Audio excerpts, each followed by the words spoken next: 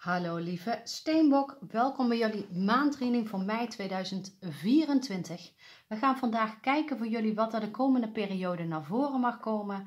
Ehm, ondanks dat ik uh, op de energie van mei intap, ben ervan bewust, blijven collectieve readingen, maar ook tijdloze uh, berichten. Dus mocht je deze video op een heel ander moment zien, weet dan dat het in alle tijden toch ergens in deze reading een bericht voor jou verstopt zit. Uh, mocht het zo zijn na het kijken van deze steenbok reading dat je zoiets hebt van nou het sluit toch echt niet bij mij aan op dit moment. Laat het dan gewoon lekker los. Kijk dan eventueel bij je maanteken, venusteken, ascendant of noordelijke maanknoop. Wellicht dat er in een van die video's dan voor dit keer een boodschap voor jou zit. Uh, zoals je ziet liggen er al orakelkaarten op tafel. Dit heb ik vooraf tijdens de voormeditatie al geshuffeld. Zodat ik op beeld meer tijd heb om gelijk eigenlijk de diepte in te springen. Dus laten we gewoon gelijk beginnen. We krijgen als eerste kaart Appreciation, kaart 15 maakt 6. Stukje vanuit liefde ontvangen, maar ook het stukje weer kunnen geven vanuit een ander niveau. Wel voelt het voor mij dat je nog ergens een beetje vast zit, vooral omdat je hier toch tussen die uh, struiken in zit, dat je nog niet helemaal de ruimte hebt om je verder ja, te vergroten of de buitenwereld in te gaan stappen. Um, maar we gaan dadelijk eens kijken wat daar nog meer aan gekoppeld zit. We krijgen ook de zonkaart, dus dat is heel erg mooi. Voelt voor mij net als in de tarot de mooiste kaart uit het dek. Uh, vanuit overvloed weer leren ontvangen. Maar daarvoor is het wel belangrijk om ook verder je licht te gaan schijnen en de buitenwereld in te gaan stappen. Dus niet alleen in je eigen vertrouwde wereldje te houden, maar ook verder je te vergroten. En we hebben, krijgen de Fire Guardians. Ignite your passion. Voelt voor mij eigenlijk een beetje als de stavenenergie in de tarot. Dus echt je passie vanuit je innerlijke stem gaan volgen. Uh, waar word jij um, ja, wakker van geschud? Waar word jij, uh, of waar kun jij wakker uh, van worden in de zin van um, welke job, welke richting, welke situatie sta jij voor op, al is het s'nachts. Um, en dan heb je eigenlijk alle passie om dit ook te gaan doorlopen. En we krijgen nostalgie. Oude herinneringen laten je terugverlangen naar dat moment. Dan kan dit natuurlijk op vele manieren naar voren gaan komen. Wat ik al zei, het blijven collectieve berichten. Dus dan kan het niet met iedereen resoneren. Neem eigenlijk het tijdlijntje waar jij je gemakkelijk opvoelt. Uh, mocht je zoiets hebben van ja, maar ik wil eigenlijk een reading wat afgestemd is alleen op mijn energie. Dan zou je altijd een persoonlijke reading voor aan kunnen vragen. Dan kunnen we ook echt dieper op jouw energie zelf intappen. Waarbij niet het collectief veld aangetikt wordt, maar echt jouw persoonlijke auraveld en energieveld. Maar we gaan eens even kijken met de tarot. Oh, dan vliegt er al gelijk eentje hierbij uit. Hè? Dus uh, ondanks dat het een tragere energie is, uh, voel jij wel heel veel passie de komende periode naar voren gaan komen. En de stappen die je aan het zetten zijn, zijn erg sterk en stabiel, waardoor je dus ook een hele belangrijke vooruitgang creëert. Wat ook een sterke fundamentele ondergrond is om op te kunnen gaan bouwen. En dan kun je dus denken aan uh, dat het wat langzamer gaat om lange termijn situatie ook te kunnen waarborgen, waardoor het ja eigenlijk als je een huis bouwt, heb je een goede, sterke um, fundering nodig. Heb jij uh, dat niet, dan blijft je huis ook niet stabiel staan al die jaren.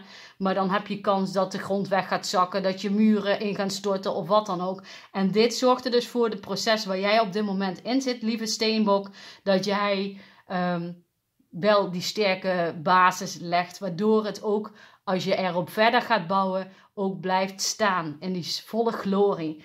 Alleen daarvoor is het wel belangrijk uit een bepaalde vertrouwde omgeving te gaan stappen.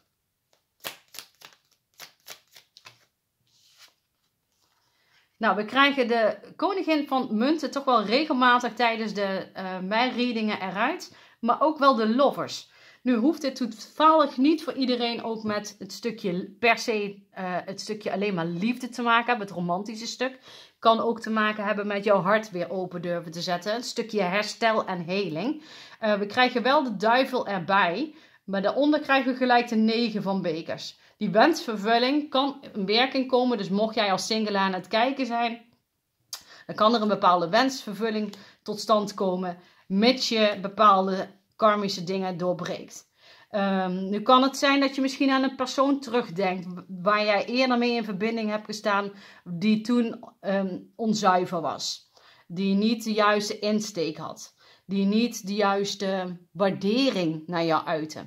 En doordat jij aan het werk bent gegaan met jouzelf, lieve Steenbok, een nieuwe passie hebt ontdekt, nieuwe richtinggevoel hebt gekregen, krijg jij een nieuwe stabiliteit. Want dat zien we hier ook met de koningin van munten. Er is een nieuwe stabiliteit gekomen. We krijgen hier ook weer de zes van bekers. Kan dus ook echt wel met die oude herinneringen te maken hebben. Een stukje nostalgie. Dus de kaarten geven in de tarot en in de orakelkaarten eigenlijk hetzelfde alweer. Waardoor ze duidelijk aangeven van oké, je hebt een bepaald proces doorlopen of je zit er middenin. Je bent nu aan het herstellen. Je komt ook weer op een positie dat je ook weer je eigen open kunt stellen. Maar dan is het ook zo weer van oké, ik denk ergens aan terug, was dat wel gezond? Ehm, heb ik wel de juiste inzicht en insteek toen de tijd gehad? Uh, waren we er wel klaar voor? Kan ook zijn dat het niet op het romantische vlak was, maar dat het op werkgerelateerd vlak was. Dat je misschien samen een eigen bedrijf wilde starten en dat het geknald heeft en dat het niet meer, ja, dat het niet uit is gekomen. Uh, wat ik hier sterk naar voren voel komen is dat de komende periode er meer momenten naar voren gaan uh, komen waarbij jij terug uh, denkt of een gevoel terughaalt van vroeger.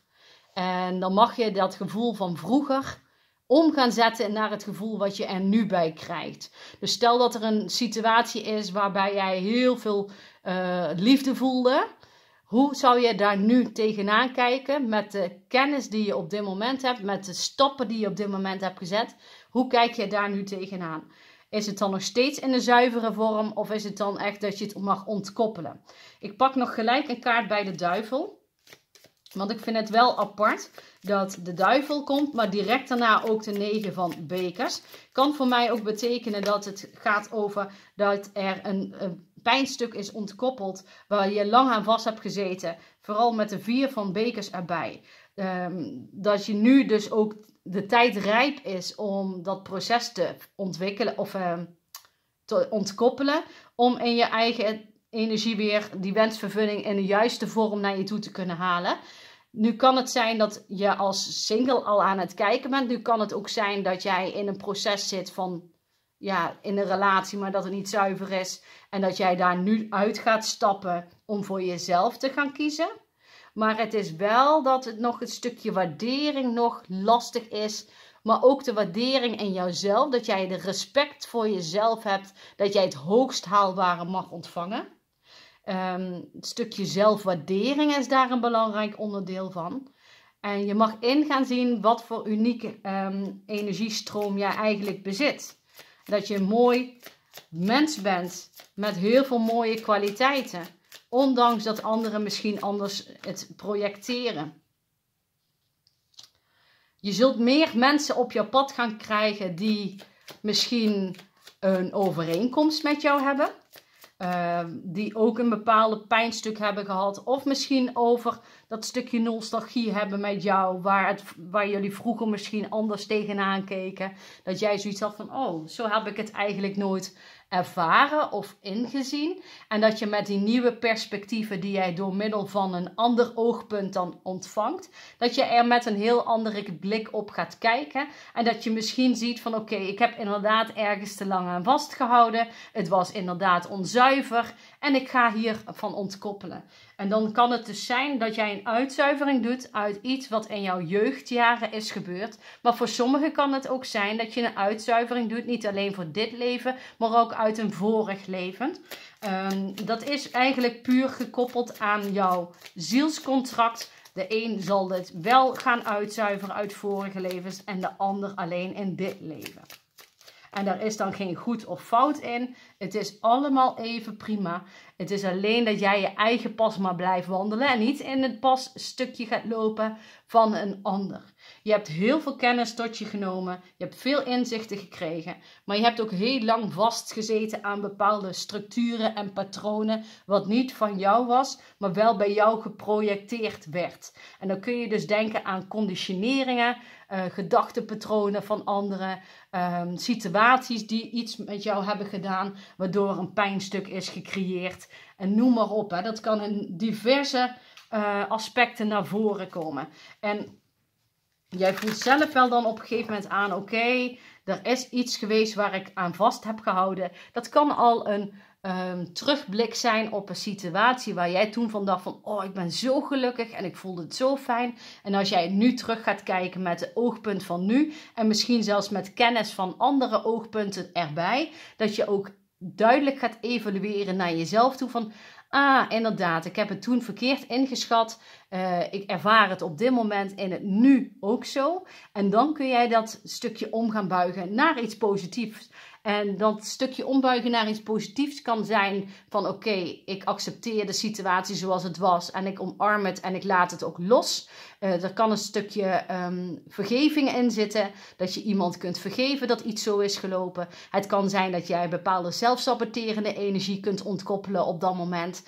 Um, maar het kan ook zijn dat je een bepaald verlangen los gaat laten. Dus het, het kan er meerdere oogpunten zijn.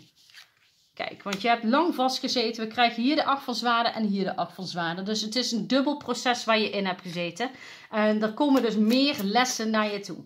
En op dat moment, als jij die lessen gaat omarmen, je breekt eruit, je hoeft er niet meer in vast te zitten um, en je kunt er ook uitkomen, dan pas krijg je nieuwe mogelijkheden. We krijgen de page van bekers en de page van staven. Dus er gaat een nieuw pad zich eigen ontwikkelen. En dat is een pad van succes, van viering, van stabiliteit, waarbij jij jouw hart gaat volgen, waarbij jij jouw passie gaat volgen en waarbij jij, we krijgen zelfs de page van munten er nog bij. Dus we hebben hier al drie pages liggen. Dus een, jij gaat op heel veel facetten, ga je een nieuw pad betreden, wat ervoor zorgt dat eigenlijk alles wat je nu gaat doen nieuw is. Iets nieuws waarbij jij weer verder in jouw helingsproces gaat komen en groeien. Waarbij jij nog meer los kunt laten. Waarbij jij nog meer intensiteit kunt ontkoppelen wat niet in jouw systeem actief hoeft te zijn. En het is wel zo dat je in mag gaan schatten van oké, eerdere manifestaties wat ik heb uitgesproken, wil ik daar nog op wachten, ja of nee? Of ben ik eigenlijk aan het wachten totdat ik een ons weeg? Want het komt gewoon letterlijk niet meer naar mij toe. Het is gewoon niet voor mij bestemd. En dat kan te maken hebben met een oud patroon, oude eh, eh, ja, verbinding van vroeger, of een gedachte, of een situatie of wat dan ook, hè, waar jij over na gaat denken. Terwijl er een nieuwe mogelijkheid, nieuwe kansen liggen hier. En dit gaat puur over zelfontwikkeling. Het stukje zelfontwikkeling inzetten, omdat jij in dat herstel mag komen. Omdat jij die ontkoppeling mag doen. Ik pak er nog eens even een ander dek bij. Leggen we er nog een tijdlijn even bovenop.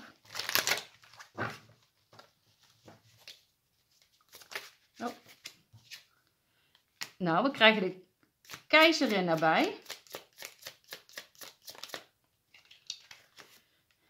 Chariot, vissen of kreeftenergie.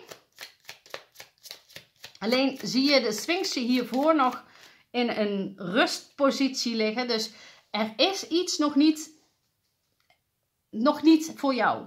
Er, je bent er nog niet. Vooral omdat we hier een trage ridder zien. En die ridder heeft tijd nodig om dat fundamentele stukje neer te zetten.